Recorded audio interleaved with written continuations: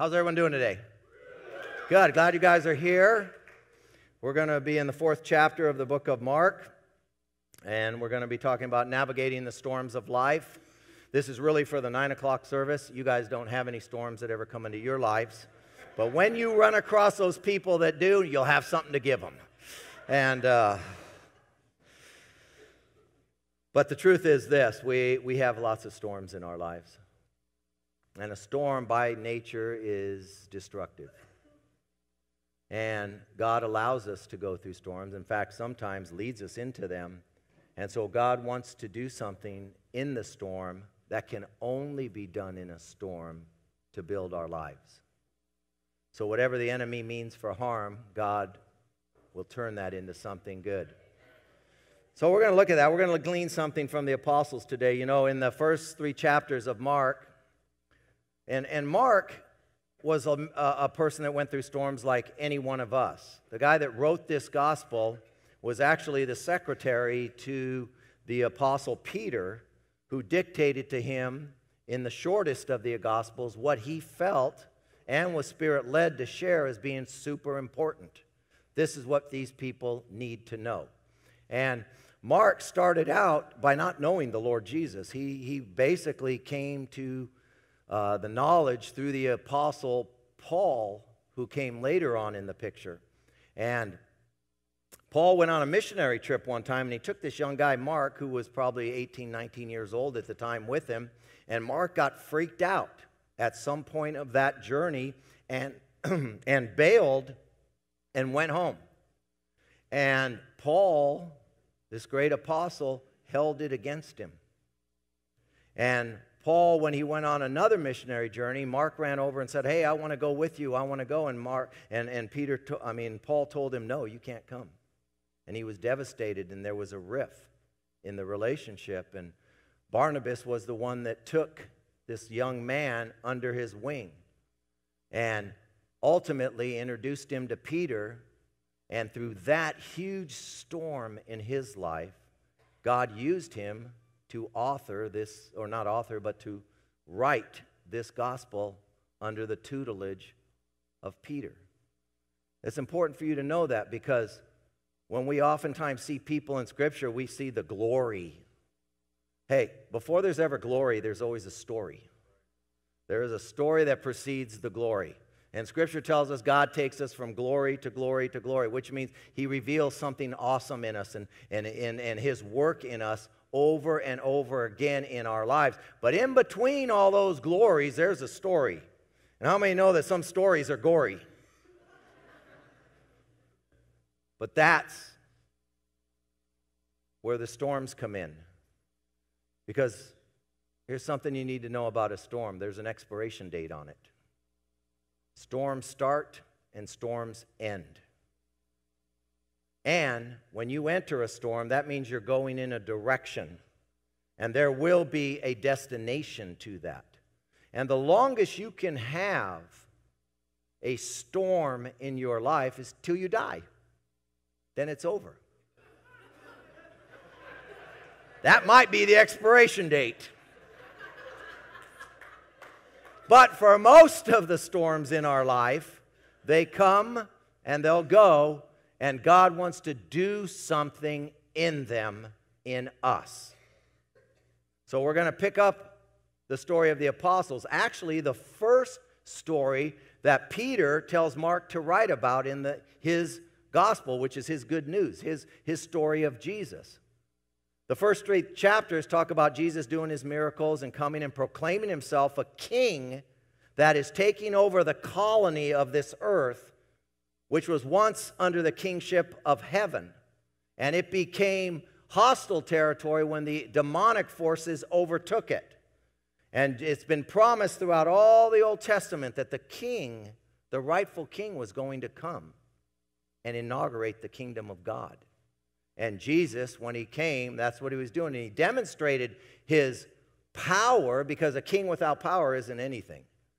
He demonstrated his power by casting out demons, by healing the sick, by, by doing miraculous things in nature. And during his first year of ministry, Jesus was kind of by himself.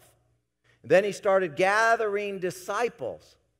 And then in the third chapter, we see that he took these disciples to a hill one day, and out of that group, picked 12 of them and said, You guys are going to be the spearheads of the kingdom into the world, and it will go on until I come back. They didn't tell him that part yet because they didn't know he was going, but they became this special group. And inside that group, there was four of them that became the most inner circle, but these 12 guys followed Jesus intensely. Now, the first story we hear about them as a group, you guessed it, is in a storm. It's not about doing miracles. It's not about anything else except they went through a heavy trial. That's why, that's why I tell people when they come to Jesus, hold on. Hold on. Don't listen to anybody that tells you it's all great. It's like going through a bed of, well, it's kind of going through a bed of roses, except there's a lot of thorns. And there's a lot of stuff. Why? Because most of us come to God with something we want Him to do, whatever that issue is. Something drives us to Him. Well, the problem is, He sees a whole bunch more issues that we didn't even ask Him about. and then He gets all up in our business and starts dealing with all these other things. Why? Because He wants to make us whole. And why? Because we have a mission on this earth. It isn't just to make some money, perhaps have some kids, perhaps get married, perhaps get some money and die. Fact, that's a reason a lot of us checked out into different areas of life, is because that's not enough to keep me going. I remember being early in my marriage when we had the three kids under three, and it was just, I mean, you ran from morning till they went down, and it was just gnarly. And I, and I remember telling my wife, is this what, you know, I loved them. I totally loved them. But is this what it's about? And then I had a job I hated on top of that. It's like I couldn't get high enough to be able to do that life. I, there, I just, there was no purpose it. It was just like do, getting through. I didn't want to live that way. I didn't know that there was something grander, although inside of me I always felt there was. You know, Scripture tells us that God puts eternity into us. He puts inside of us, there's something more to life. There's something more. Well, I'm telling you what the more is it's the call of God in your life, and it's the purpose He puts you in this generation for. You were made on purpose for a purpose. And when you begin to find that, life becomes an adventure rather than a drudgery. How many of us have woke up in the morning and go, dang it, I'm alive still? How many of us, even today, sitting in here, love God, but when it starts getting three o'clock Sunday night, Sunday afternoon, you start getting that feeling, oh, I got to go to work tomorrow. You know, I, God's got more for you than that, but it's going to require you to go through some storms because they're coming your way. So we're told, well, let's just go ahead and pick it up and, and let's see what uh, their storm teaches us about our storms, about who God is and what God wants to do. So we pick up the story in Mark chapter 4, verse 35. It tells us that day when evening came, you know, that day, that particular day, and remember, this is Peter now telling Mark about an incident that happened years earlier about what happened with the 12 of them and Jesus. And he's saying, that day, Jesus had been doing a bunch of stuff. If you read earlier in Mark, you'll see all this stuff Jesus was doing. He was busy about his father's business. He was healing people, and, and he was tired. And earlier, he had told them, When I go down to Galilee, because we're going to be, this storm takes place on the Lake of Galilee, um, he tells them, Get a boat ready because the people are pressing in on me so much. I need to have a place to get some safety. And that was a, see, when, God, when, when God's word says things like that, I don't know the exact verse, but you can look it up because I told you guys last week to read up on Mark. And how many did that? Okay. I know I don't like I didn't like homework either. It's like homework. Test? Ah! That was a little test there. But, anyway, we didn't do that good. Last uh, week, that was recorded, and I, I really didn't even share it with you, but it was recorded that Jesus said to get a boat ready. You know, when Jesus is doing this, he's teaching his guys stuff. You need to be able to be effective in life. You need to be able to get away a little bit. You need to be able to distance yourself in the midst of all life and take a break. And you need to have some people around you that will build you and help you. So he tells these guys, Get the boat ready, I'm tired. He said to his disciples, Let us go over to the other side. So there was a purpose, there was a plan. We're going to go in this boat. We're going to, now this is evening because it was the end of the day. That's a, I pretty, I'm pretty good at, you know, telling, saying the obvious. When it says that evening came, I snap right to that and go, okay, it's getting dark. That's the kind of Bible scholar I am. I get into the words. so it says this They left the crowd behind and they took him along just as he was in the boat. I don't even know what that means. Like you get dressed up to go in the boat or. But what they probably did was four of the apostles were professional fishermen, fish that lake all the time. They were sea seasoned men. They knew how to fish, and they probably put Jesus with Peter and James and John and Andrew if they took four guys in the boat. Scripture tells us here in a second that they took more boats. So he said, let's go over. So if I was with a real important person, we'd want to put them with the most seasoned people. It just makes sense. So they get into the boat, and it says, there were also other boats with them, and a furious squall came up, and the waves broke over the boat so that it was nearly swamped. And Jesus was in the stern, sleeping on a cushion. He must have been really tired. I mean, a squall. A squall is such a bad storm that it appears to be raining, although it might not. You can't really see.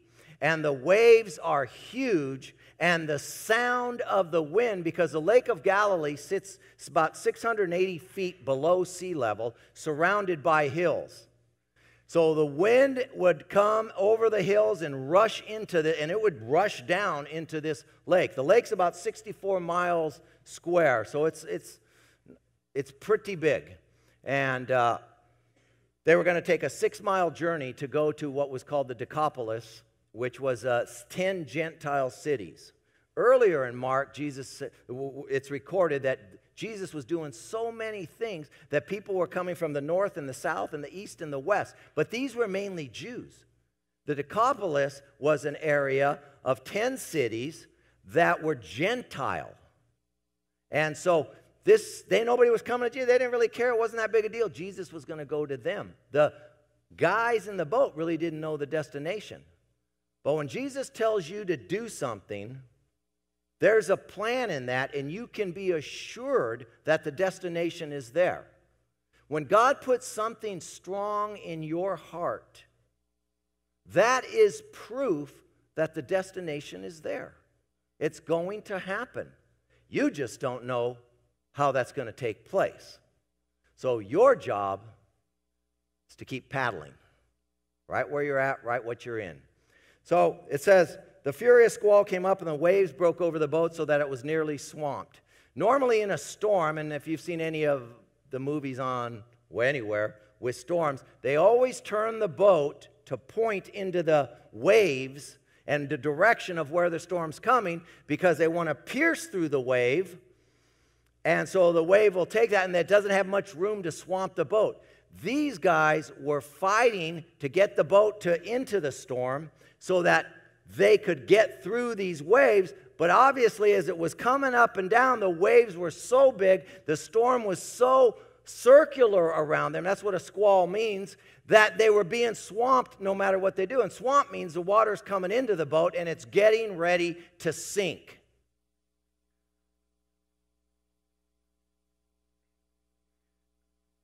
The disciples woke him up and said to him, Teacher, don't you care if we drown? You know what uh, is interesting to me in that? I wonder how long they fought those waves. It doesn't say. I wonder if they fought them for six hours. five hours. How many of us, when we have a problem, we'll handle it? We'll take care of it. And sometimes that works. And then sometimes we can get some other people Peter, John, Andrew, come on, help, keep this thing going. And sometimes that helps. That works too. But you know what God has a tendency to do? He has a tendency to take you to a storm that you can't handle. It's out of your control. And you know what's a real bummer about that whole thing? These guys were obedient, they didn't even do nothing wrong. Jesus said, Hey guys, we're going to go across the lake. Everybody needs to hop in. We're going to head over. They said, Perfect. Hey, it's one thing to have a storm when you cause it. And aren't we weird about that? When we cause a storm, and how many know before we even head into it, we're heading for a storm? That's this isn't a good move.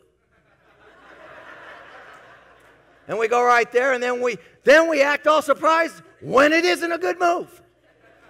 But let God do something in our lives that isn't a good move. And how dare He? Because our perception of good is often skewed. When God is leading you into something, there's a plan involved. And He is taking you somewhere. And I say this oftentimes you're either heading towards a storm, you're in a storm, or you're heading out of a storm. But believe me, storms are going to be in your life. And God means them to build you, to take you to some place different than you were before and someplace different in you. It's a big deal. So, we'll talk more about all this, but let's read on. They said, Teacher, don't you care that we drown? So they finally got to him. You know, it's kind of funny too. When we think things are out of control with us, we think God's out of control too. Like he doesn't know and like he doesn't care. Their first real experience with Jesus when it came right down to their heart of hearts, was that God doesn't care about the situation they were in. He is distant from them. You know, I, I see that in people. We can feel that God cares for us when it's lining up right.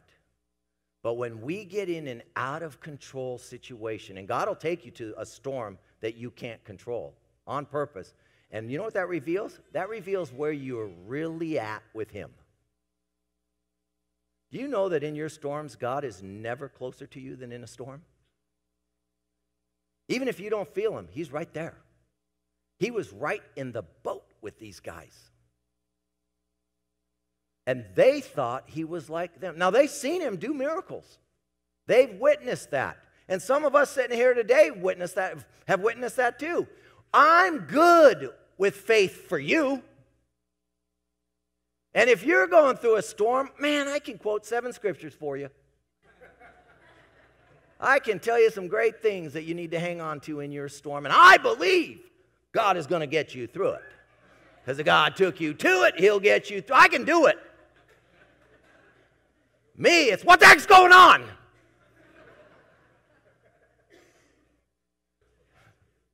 God, God wanted to show these guys, I'm with you guys too. I'm with you. I'm with you when you can't even do what you thought you were doing so good. You're, you're sailors.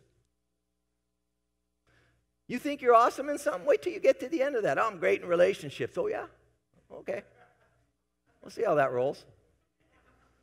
When that doesn't work for you. Well, they love me at my job. I'm really important. Hey, here's your pink slip. Just so it's awesome for you, we're giving it to you on Friday. So you can think about it all weekend. So, it says this He said, He got up, rebuked the wind, and said to the waves, Be quiet, be still. Then the, the wind died down, and it was completely calm. And he said to his disciples, Why are you so afraid? Do you still have no faith? Do you not know who I am? Do you not know who I am? See, fear and faith can't reside together. They cannot coexist. I will either walk in faith, and faith means I have faith in something. It's not my faith, it's my faith in God. That He's not abandoned me, that I'm still okay, that He still loves me, that He still has a plan, that this is not the end, because sometimes we think it is. Or, or if I don't, I have fear, and I start running with that fear. Then he says this they were terrified and asked each other, Who is this? They don't, they don't know. See, one of the reasons God allows storms is to show you who He is. Even, in the, even the wind and the waves obey Him. They knew Jesus was, they hung out with Him, they saw Him. But He has to become something real to them. I've talked to numerous people, you know, and, they, and they, oh, you're in recovery? Yeah, I'm in recovery. Who isn't? right? Life. If you're living, you're in recovery. So, you know, you're dealing with stuff. Anybody in here not dealing with stuff? You just if you say no, it's like, oh, he's heading towards a storm. Keep paddling.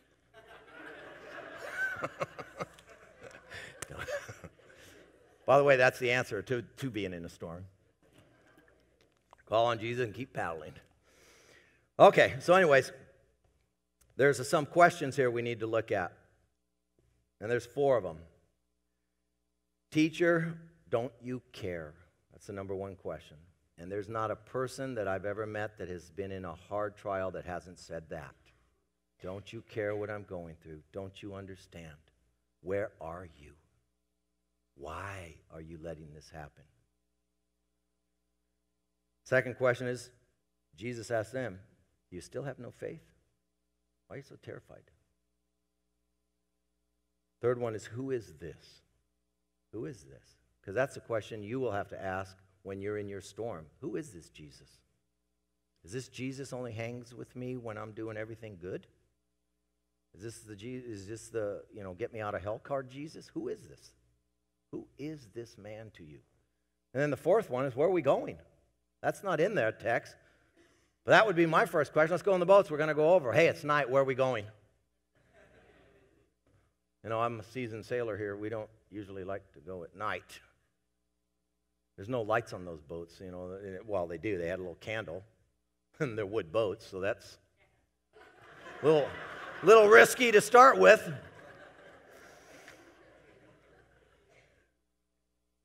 Listen, obedience to Jesus will invariably lead you to trouble. Right? How many try to walk with Jesus and then try to remain morally pure? That's trouble. That's a problem.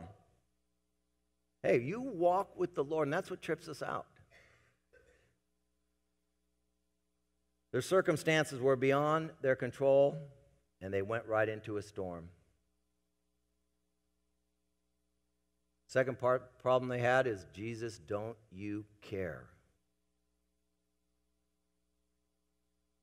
Don't you care? You know, some of us think that Jesus' care for us is part time.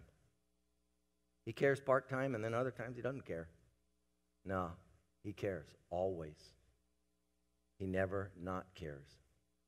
And he will take you into the storm. And the biggest storm that we face in my family, of course, was the loss of my son. Up to this point, I don't know I don't know what can be bigger. I know there can be more. But I'll tell you, in that journey, because when you face a storm, you're heading in a direction. And, and, and when I was never involved that much with people like I am today who have lost children, like because of that incident and, and what that has done in our lives, and you can travel in that circle. And I've seen, oh, I've met a number of people that had belief in Jesus, strong belief in Jesus, and they lost their child. And in that storm, they jumped boat. They bailed out in the storm because that's always an option. That's always an option in a storm is to bail out. Jesus isn't going to leave you. You're just in a whole new storm.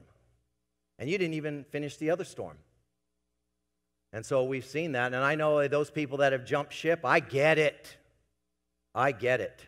They, they were deeply, devastatingly wounded. And they were mad at God. But uh, I'm more like these guys in the boat. I went to Jesus in my storm, in our family storm, and I said, What don't you, what? What in the world? Don't you care? What is up with that? And I was obeying him.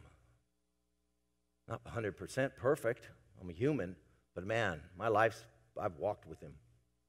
And I, and, and see, what God develops in you in a storm is a deeper relationship with him. You know, you can only be upset with someone and angry with someone if you're close to them, if you trust them. So I love Jesus, and that allowed me to speak to Jesus in the storm in a way I never spoke to him before.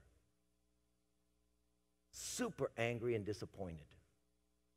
Served you all these years. Some of you know the whole deal. I've shared it a million times. But I share it because it's a storm that I'm still in at a level. But you know what?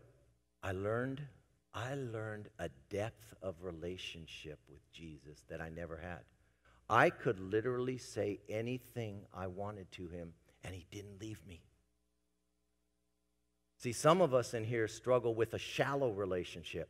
If I do something wrong, Jesus kicks me out. If I did, you know, and we're playing with these little things that we make such a big thing. Wait till you get a big thing. Because you will. We don't know what storm you're going to get, but you do know this you're going to get them. God wants you to come out of them better. I understand Jesus in a relationship way better than I ever have. I could actually be mad at him and he didn't leave me. He never even once rebuked me. But you know what he said to me one day in my heart, silently, not a, you know, no horns were blasting or anything? He said, I lost my son too. See, you got to, see, that's part of why we go through storms, is that we can build the empathy to understand another person's pain. I was talking to a brother recently that, that is going through a divorce. And he told me, he said, I understand the pain of that like I never did before. I understand when someone says they're hurting, I understand that pain. See, when you understand that pain, you can minister to that pain. I may have been in a bad place and you shared with so- something with somebody and they acted like you told them, could you, is it warm today? It's like, well, that was absolutely no, no help at all. absolutely no help. In fact, my wife and I have said, uh, you know, a number of times with, she, she, we'd say, "Can you believe someone said that?" And it's just they just don't know. They just don't know what to say. But when you go through that storm, because storms are meant to, they're destructive by nature, but God wants to make them constructive in our lives. And you'll come out of most of them. You'll come out of most of them. It's what happened in between the entering and the leaving of the storm that's important. Quit asking, why God? And look at what God is doing. Jesus was sleeping in the storm. That's amazing. He was sleeping. They should have gone to sleep. I don't know how long they were fighting that baby. They should have gone to sleep. Listen what Psalm 127 says. In the first verse, it says this Unless the Lord builds the house. Do you know that the Lord is building your house? You are a house that God is building. He says he's going to inhabit you and he's building this house. It says, unless the Lord builds the house, its builders labor in vain. You can try all kinds of stuff to build your house, and many of us have. We tried to destroy the house and God wouldn't let us do it. Then was we try to we labor in vain. We're not getting anywhere. When I tried to build God's church because that was my career, I got a teepee. When I quit trying to build it and God started to say, "Okay, let's do it my way." You know what he had to deal with? My fear. I didn't want to do something different. Covery, I didn't, you know, those are the people I love, those are the people I connect. I don't you know, how that would be weird. And what is everybody going to say? Who cares? I had to get over that. You're going to have to get over your fears. That's the way, because fear and faith cannot exist together. I, you know, I, I have my thoughts on the political process we're in right now. And apparently, everybody on Facebook's an expert. at least at name calling. Yeah. People defriending, you know, hey, bottom line is, I don't care in that big, in the big picture, Jesus is in charge. If I, and if we're going to go through a storm as a country, we're going to go through a storm. Right now, this state is voting to defund Christian colleges. Because why should we give money to student loans to go to a Christian college? There's a separation between state and, and that. We're not going to support that anymore. And it's already passed one of the groups in, the, in Sacramento. So, you know, there's, so if, hey, whatever storm it is, God's big enough. God is big enough. What's the worst thing that can happen? We die. Well, we're going to do that anyway. It's only a matter of how and when. Right? We should be fearless. In your storm, you're going someplace. But listen what Psalm 127 says Unless the Lord builds a house, the builders labor in vain. Unless the Lord watches over the city, the watchmen stand guard in vain. I know lots of us in here have stand guard over stuff because we've been hurt over the city of our lives. And we stand guard. We're not letting anybody in. We're going to keep this out there. We're standing in this. Hey, the guardman watches in vain. It's all destructive anyway. God has to do it. And when he's building something, he's got to deal with things that take us into storms, at least inside here. Because this is the storm. Whatever happens out there, that's going to happen. But the storm war we need to mostly be worried about is what that storm does to the storm in my head. How many know that? It's our head that takes whatever situation we're in and runs to the future. How many in here paint per- great futures for themselves? Why not? Yeah, I try. I used to do when, my, when I coached, I used to do this with the guy. I'd throw the ball. We know we'd have all these drills where you had to, quarterback would throw it and you would be facing the opposite direction and you had to turn and wherever the ball was, you had, you know, split second to adjust to catch it. And this guy kept dropping it and he goes, I'm trying. And, I, and I, we took a ball one day and I, set it out there and I go, well, here, try to pick that up. He goes, no. I said, no, you picked it up. Try to pick it up.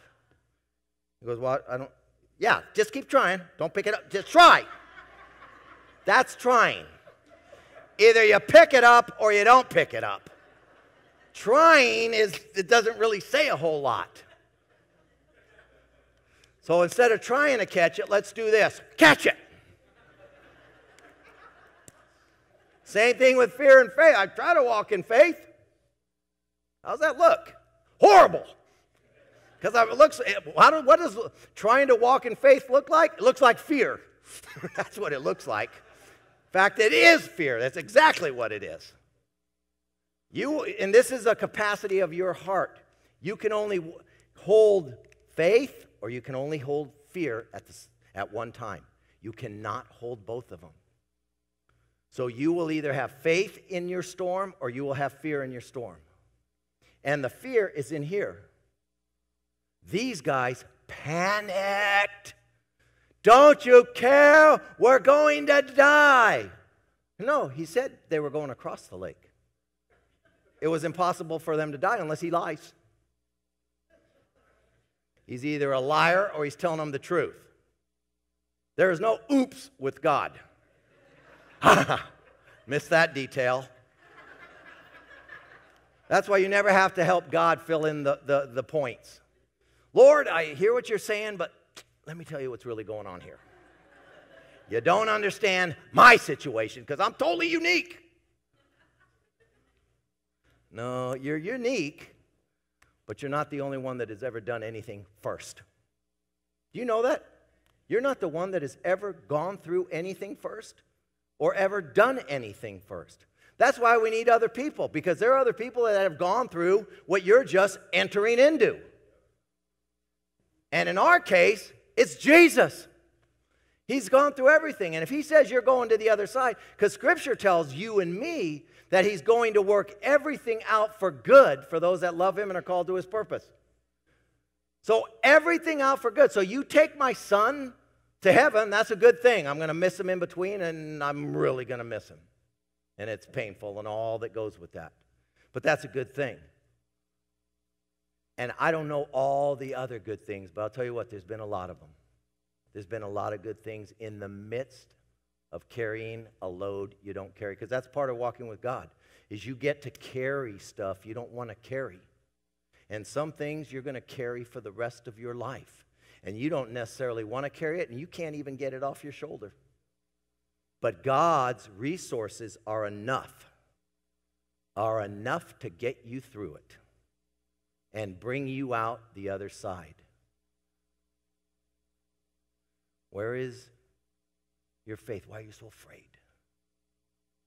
Listen, God's resources, right where you're at, are enough to get you through whatever He allows you to be in. Don't put a time frame on the expiration of it. The expiration is His business, the destination is His business. Who is this? This is God in the flesh, He was letting His disciples know. And then you know what he says? It's a real strange thing, and it was twisted in my head all week long. When he deals with the storm, it says in verse 39, he got up, rebuked the wind, and said to the waves, Quiet, be still. Why would he say quiet to waves? Why wouldn't he say stop? Why wouldn't he just say be calm? You know why? I think he was talking to his disciples. Quiet the storm in your head. Quiet the storm in your head and be still and know that I am God. Because you can't hear God when the storm is in your head. When we have thoughts that circle us and squall in our head, we can't hear nothing. That's so, be still, quiet.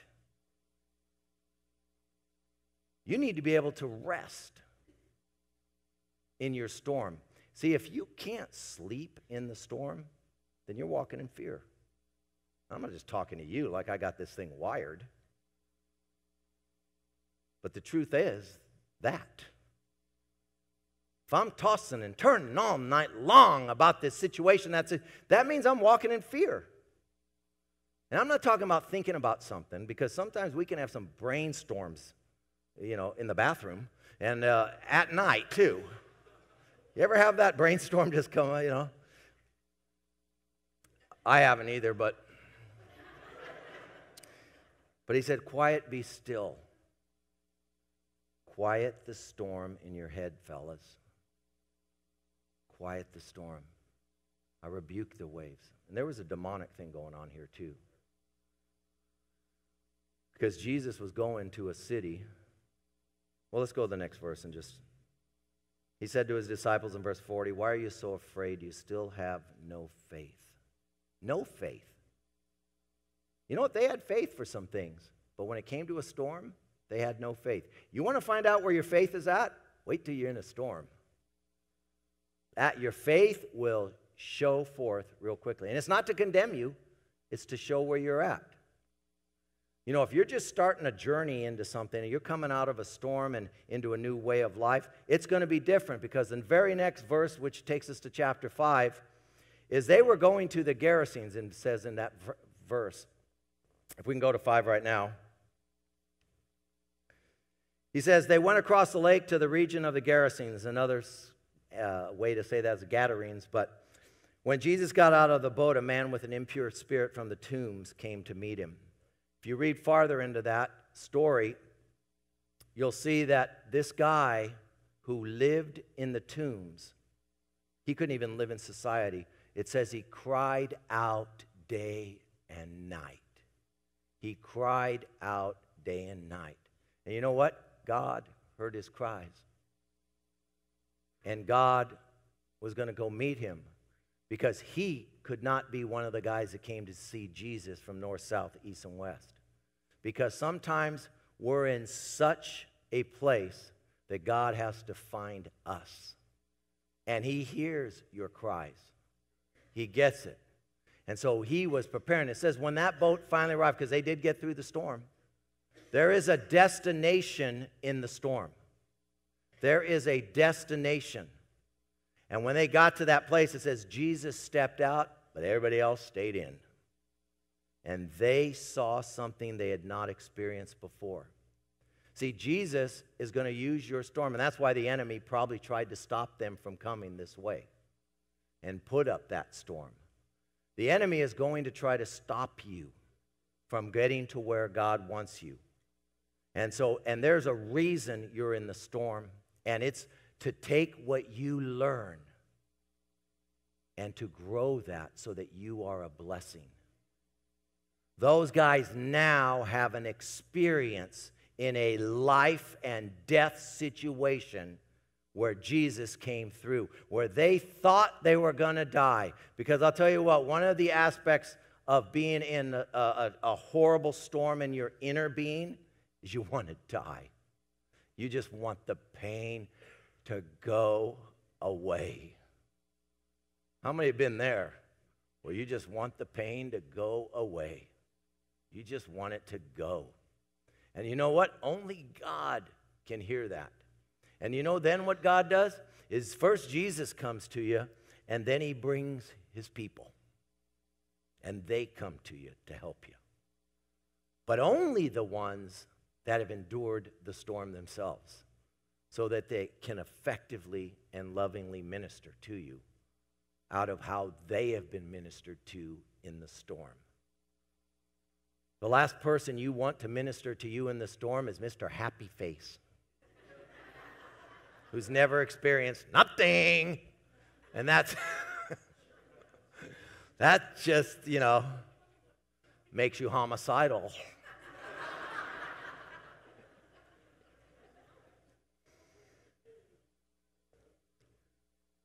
That's you know you know what holiness really is?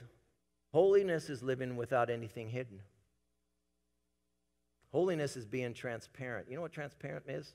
That means from the outside, you can see what's in the inside. That's what God wants us to be to the world we're in.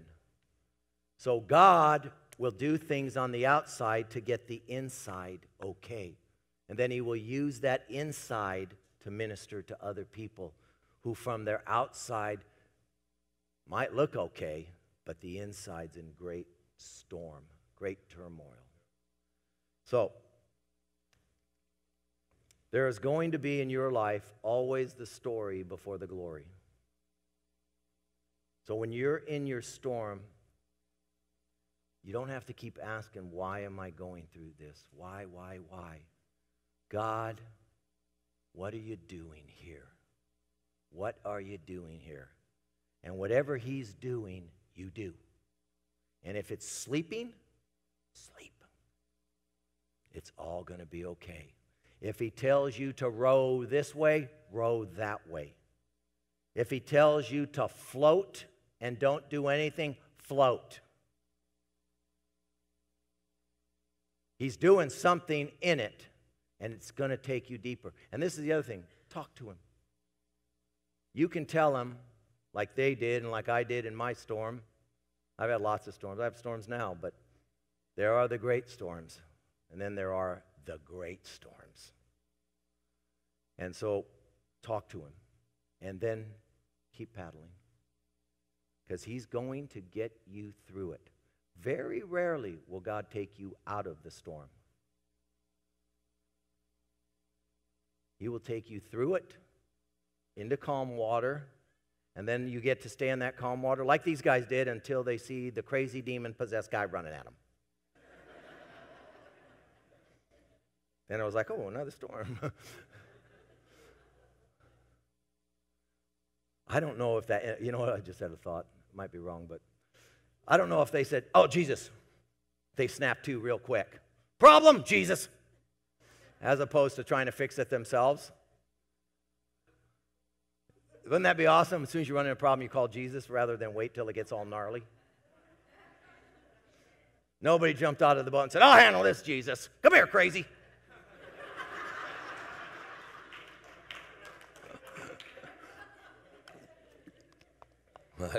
Jesus, he's calling you. Be like Monty Python. Run away, run away, paddle away, paddle away.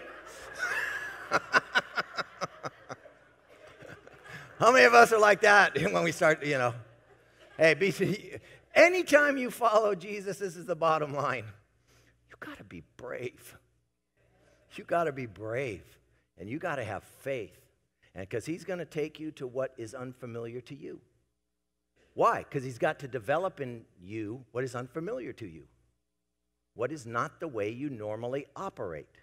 How many sitting here today would, you know, it wasn't that long ago you think, I wouldn't be sitting in church. I wouldn't even go to, you know, get my court card signed at a meeting. I don't go to that meeting. Why am I going to go to church? Anyway,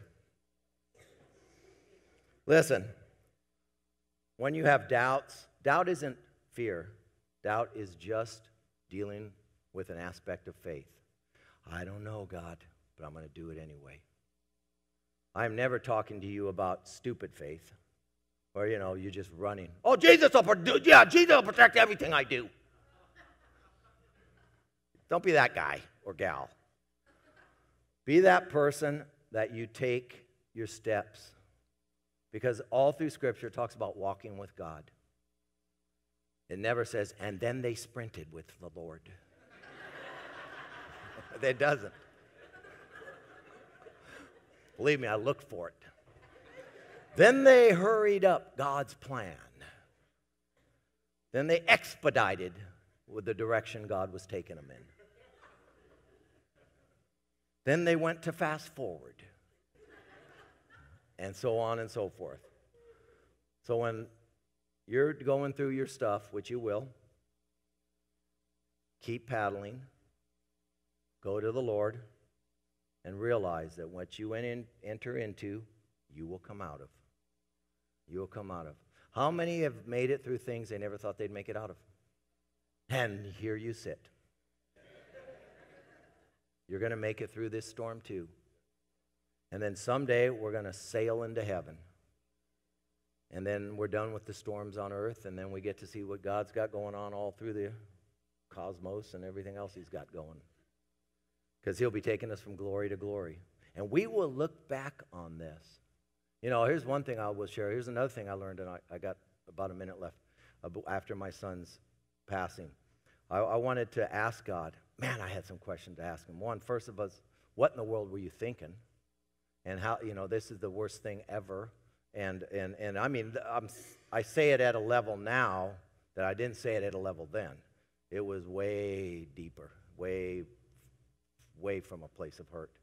Um, and and I, I, wanted to ask God all these questions about the whole scenario. How come you didn't deliver him? How come, you know, my son had to struggle? He had so many great qualities. How come you just didn't fix that thing in him? How come, how come, how come, how come, how come? How come, you know, how come we didn't get a grandchild?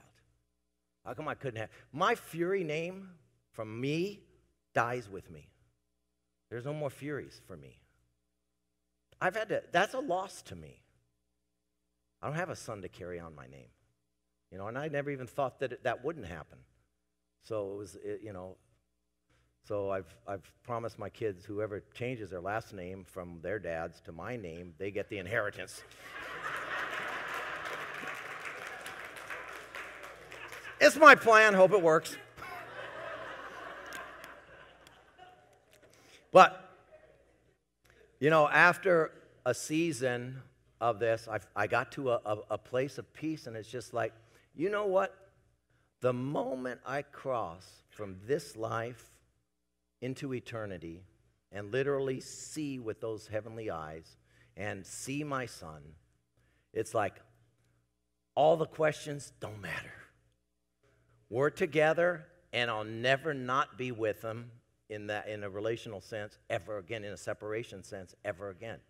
You know, whether we do things in heaven or whatever, just like in the natural world, we're doing stuff and we see our kids when we see them. But I'll never not not be able to see them. And uh, it's like, well, what do I care then? This life will seem like a puff of air, and it will, and it really will. You know, that does not in any way minimize our journey here because we have a job to do here and there's a role for us here and it's, it's purposeful and it, it, you know, we are accountable for that. But when we're there with all of our loved ones, it'll, it'll be a place of where it'll be the questions I think in so many of our minds will just melt away. And what I don't want for you guys is to look back at your journey here and go, God, I wish I would have walked more in faith. Gosh, why was I so fear bound? Why was I that way? Oh man, if only I knew now what I couldn't didn't know then. Hey, I'm telling you, right now, God's got you guys. You are breathing air. You have opportunity.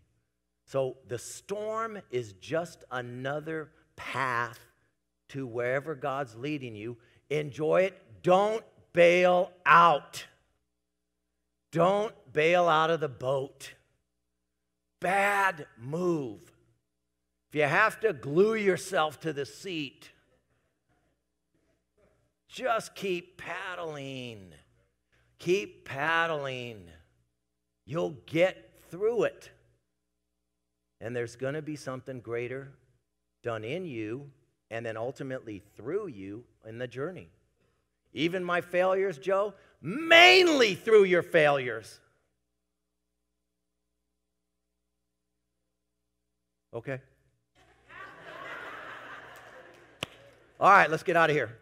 So, how many want to take that step? You're going to say it now. How many are in a storm right now? How many in a storm? Okay. Keep trusting, keep paddling, do what's placed in front of you. Wake up the Lord. Don't tell him he doesn't care. He does care. Just tell him what you feel. Tell him what you feel and just keep doing it. How many know that they're going to be heading into a storm and it's all right right now? Awesome. That's a handful of you. How many know what I'm talking about as.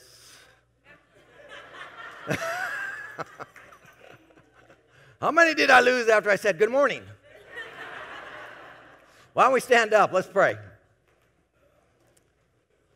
Dear Lord, repeat after me if you would. I know storms come. I know storms you send. They aren't designed to destroy me, they're designed to make me into a better person, of greater influence, of deeper compassion, of greater wisdom, and a power, more powerful life. And I thank you for that. So I ask you, God, when I start running in the storms in my head, tell me to be quiet, be still, and know that you are God. And help me, God, to walk in faith and keep paddling. In Jesus' name. Amen. All right, God bless you guys. Have a great day.